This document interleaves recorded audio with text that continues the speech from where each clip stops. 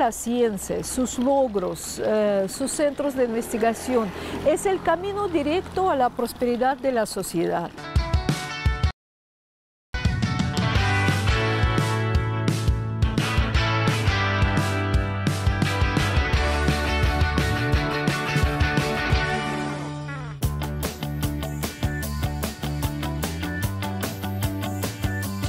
Cuando llegué en 80, sí, en 1983, en realidad eh, como que el tema de investigación todavía no estaba en la agenda, o sea, de muchos profesores o de las universidades. Íbamos a pasos muy, muy lentos que no nos permitían pensar eh, en productos, por ejemplo. Creo que es esa eh, necesidad absoluta que tiene el país de conectar la producción con la investigación, con la aplicación, es conectar la, ciencia con las necesidades del país.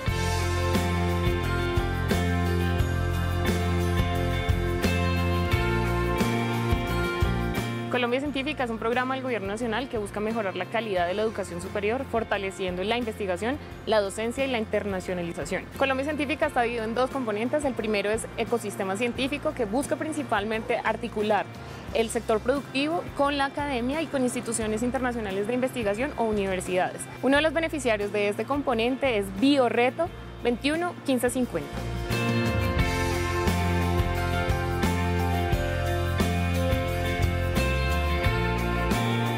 Bioreto porque la investigación siempre es un reto. 21 viene del siglo XXI y 1550 proviene de 50 son las plantas promisorias que durante nuestro proyecto tenemos que vislumbrar, recoger, tener y trabajar con ellas y 15 productos con base en estas plantas que van a ser útiles para el sector salud, para el sector cosmético y otros agropecuarios. Es un equipo muy grande de 150 personas que van a estar involucrados cuatro años trabajando en el proyecto. El beneficio que trae a la sociedad es poder fortalecer no solamente la parte científica, sino impulsar la industria a través del conocimiento que nosotros como científicos, como químicos, podemos aportarle a la sociedad. Creo que nosotros seríamos la parte de poder tomar esa investigación y aplicarla a una industria eh, y volver eso eh, una necesidad para que el productor, en la última parte de la cadena, tenga la seguridad de que puede entrar a sembrar, a producir, a extraer y a vender un aceite o un extracto a una empresa que ya tiene su comercialización. Este programa va a unir bueno, la academia, donde están laboratorios, estudiantes, profesores, investigadores, va a unir la industria con su investigación y sus nuevos productos, pero lo más interesante también el campo. Este bioreto 211550 es la posibilidad que tenemos de sustituir los cultivos ilícitos. Es la posibilidad de que los campesinos puedan cultivar diferentes plantas que les representen un beneficio económico. Existen dos barreras para que la gente no pueda continuar con sus estudios de maestría y doctorado. Una barrera del, lenguaje, ya sea en inglés o francés o en el idioma en el que se vaya a estudiar, y la otra la parte económica. Un programa de maestría o doctorado puede estar costando entre 50 mil y 100 mil dólares.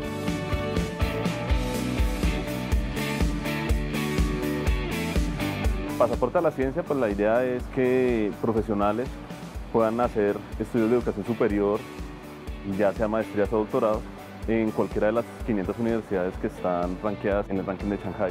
Camilo Torres es uno de los beneficiarios de este componente que una vez regrese a Colombia nos ayudará no solo a fortalecer la investigación, sino promover la competitividad y productividad del país. En el doctorado pienso explorar la parte del nexus entre la producción de alimentos, la energía y el agua. El compromiso que nosotros tenemos al regresar a Colombia es por lo menos estar dos años y estar trabajando ya sea en una institución de educación superior o en alguna empresa donde se manejen los temas de innovación y desarrollo. Yo creo que es importante invertir en la investigación y en la innovación acá en Colombia porque somos un país que está en vías de desarrollo. Nosotros realmente necesitamos programas como este programas que sean con unas inversiones ya significativas, algo que nos permita entonces llegar a desarrollos reales.